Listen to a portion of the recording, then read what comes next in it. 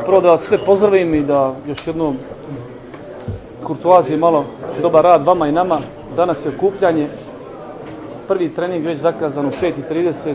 Svi dolaze osim golomana Šeća koji igra e, zadnji utakmicu sa svojim klubom prema tome on je sutra navečer ovdje i onda e, nastavit ćemo sa ovim programom koji smo zacstali, koji smo spremni do subote i onda svi znate program jedan i pol dan slobodan i onda se, da kažem, selimo u Zenicu gdje ćemo nastaviti spremanje za ovu utakmicu.